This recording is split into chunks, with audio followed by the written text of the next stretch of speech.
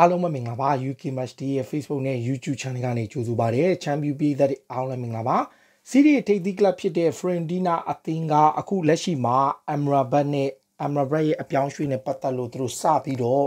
ဒါဘယ်လိုပြောမလဲရောက်အပြောင်းရွှေ့ကိုစပြီးတော့လှုပ်ရှားနေပြီပေါ့လေ။အဲ့ဒါကတော့အခု ဒီ Fiorentina အသင်းရဲ့တာဝန်ရှိသူတွေက Manchester United နဲ့စတင်ကစားစကားပြောဖို့အသင်းရှိနေကြောင်းနဲ့ United ရဲ့တရားဝင် official ကမ်းလှမ်းလာမဲ့အခွင့်အရေးတွေကိုသူတို့ဘက်ကစောင့်နေတယ်ဆိုတဲ့သတင်းတွေတောက်လျှောက်တက်နေတယ်။အဓိကကဘာလဲဆိုတော့ Fiorentina က Amrabat ကိုနွေရာသီမှာရောင်းချင်တယ်။ရောင်းချင်တဲ့အချက်တစ်ချက်ကဒါသူတို့ရှိမှာ reason ကဘာလဲဆိုတော့ Juventus က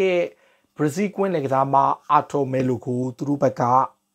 တရားတီအငားနဲ့ခေါ်ထားတယ်။ ရာသီကုန်မှာပေါင်တန်း20နဲ့ sorry ယူရိုတန်း20နဲ့အပိသက်ခေါ်ယူခွင့်ကိုဖီယွန်တီနာကသဘောတူလို့အာထော်မယ်လိုကဖီယွန်တီနာကိုရောက်ပြီးဆိုတော့စစ်စစ်မှုပြုလုပ်ပြီးတာနဲ့ဖီယွန်တီနာကစားမဖြစ်တဲ့အတွက်ကြောင့်သူက ကွင်းလယ်ပိုင်းမှာအမ်ရာဘတ်ကိုရောင်းချင်တယ်။နောက်သူတို့ကိုယ်တိုင်ကလည်းဘန်နာကြီးပြဿနာတွေရှိတယ်။အထူးသဖြင့်အီဂလီကလပ်တော်တော်များများကဘန်နာကြီးပြဿနာရှိတော့သူတို့ကစားမတွေတော်တော်များများကိုရောင်းပြီးတော့မှကစားမအစ်စ်လဲတာထားပါတော့ဒီကစားမကိုတယောက်ကိုရောင်းလိုက်ရတဲ့ပတ်စံနဲ့တချို့ကစားမတွေကို investment ပြန်လုပ်မယ်တချို့ပတ်စံတွေကိုသူတို့တချို့နေရာမှာသုံးမယ်အဲ့လိုပုံစံမျိုးဆိုတော့ Fiorentina ကသူတို့ရဲ့ကွင်းလယ်ကစားမှာဟို Sofran Amrabat ကိုရောင်းဖို့ပြင်ဆင်တည်ပြီးတော့ဒါ Arthur Melo ကိုခေါ်လိုက်တယ်ဆိုတော့ Arthur Melo က Juventus ကနေရောက်လာပြီး ရောက်ပြီးတော့တရားဒီအငားနဲ့ယာဒီကိုမှာယူရို30နဲ့ခေါ်ယူခွင့်ဆိုတော့အခုဖော်ပြထားတဲ့ဒီ La Gazzetta dello Sport မှာဖော်ပြထားရော Corriere Sports မှာဖော်ပြထားက Fiorentina အသင်းတာဝန်ရှိသူတွေက Manchester United အသင်းသူတို့ကိုတရားဝင် official bid ဖြစ် Sofran Amrabat အတွက်ဒီတစ်ပတ်အတွင်းမှာကမ်းလှမ်းလိုက်မယ်လို့သူတို့ယုံကြည်လျက်ရှိတယ်။ကမ်းလှမ်းမှုမှာဒီ Fiorentina အသင်းရဲ့ manager Vincenzo Italiano ကဘာပြောလဲဆိုတော့ Amrabat ကိုတိုင်က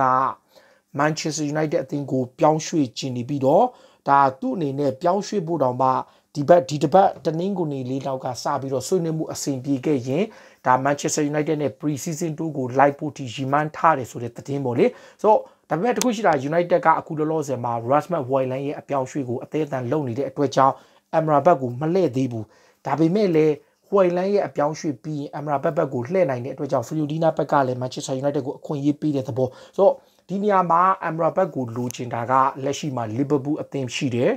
Atletico Madrid အသင်းရှိတယ်ပြီးတော့မှ Saudi Arabia အသင်းနဲ့ Manchester United ၄သင်းရှိတယ်အဲ့၄သင်းနဲ့မှာ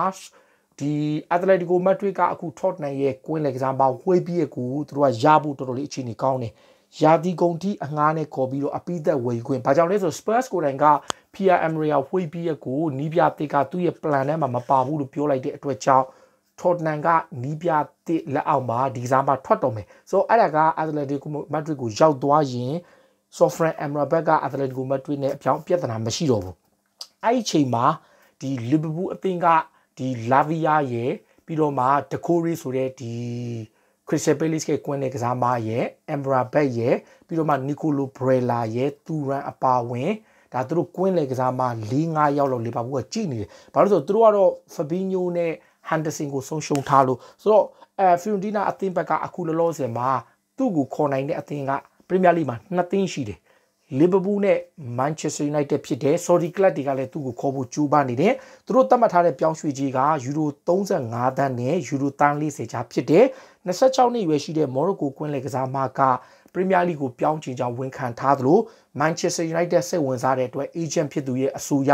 ဒီကစားမက Old Trafford ကိုပြောင်းကျင်သလို United အသင်းကိုရွေးချယ်နိုင်တယ်တကယ်လို့ Liverpool ကမ်းလှမ်းလာရင် Liverpool နဲ့ United အသင်းကိုသူစဉ်းစားဖို့အစီအစဉ်ရှိတယ်ဒါပေမဲ့ Manchester United ကသူ့အတွက်ပြောင်းကျင်တယ်ဆိုပြီးတော့ဒီ Fiorentina ရဲ့နီးပြကိုယ်တိုင်ကပြောလာတာ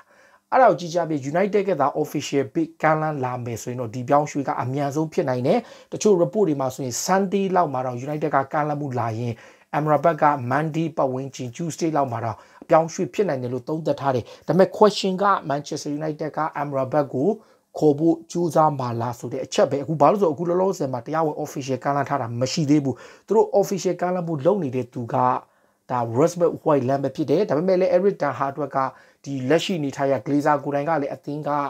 ဒီဆက်နေဖို့ဒါဆုံးဖြတ်ချက်ချတယ်ဆိုတဲ့သတင်းတွေတက်လာပြီးအချိန်မှာ United ရဲ့ transfer အတွက် Glazer ကတရား ပေါင်တန်း190လောက်ထိထုတ်ပေးမယ်ဆိုတဲ့ Mera ကဖုတ်ပြောပြတဲ့သတင်းတွေလည်းရှိတော့ okay အခု United ကမောင်းနဲ့ Onana နှစ်ယောက်အတွက်ကိုတန်း100သုံးပြီးပြီဆိုတော့တကယ်လို့ Amrabat ကိုခေါ်မယ် Whiteland ကိုခေါ်မယ်ဆိုနှစ်ယောက်ပေါင်းကိုတန်း200လောက်တိုးတယ်ကြောက်သွားမယ်တိုးတယ်ဆိုရင်၄ယောက်ကိုပေါ့လေဒါဆိုရင် United ရဲ့ transfer အဆုံးသက်တောင်းနိုင်တယ်ဘာလို့ဆိုတော့သူတို့က Juni Event ကိုအငားနဲ့ခေါ်ထားအဲဟိုကာလာတူခေါ်ထားတာကိုဆိုတော့ Amrabat ရဲ့အပြောင်းရွှေ့အတွက်အခုဒီ Fiorentina ရဲ့နီးပြရဲ့အဆိုရတော့ကစားမက United ကိုပြောင်းရှင်နေပြီးတော့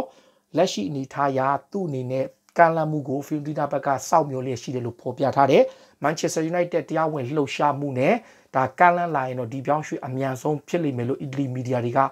သုံးသပ်ထားပြီးတော့ United နဲ့ Amrabat အကြောင်းကိုထုတ်ပေါ်ပြောကြားလာတာပါ။အားလုံးကျေးဇူးတင်ပါတယ်။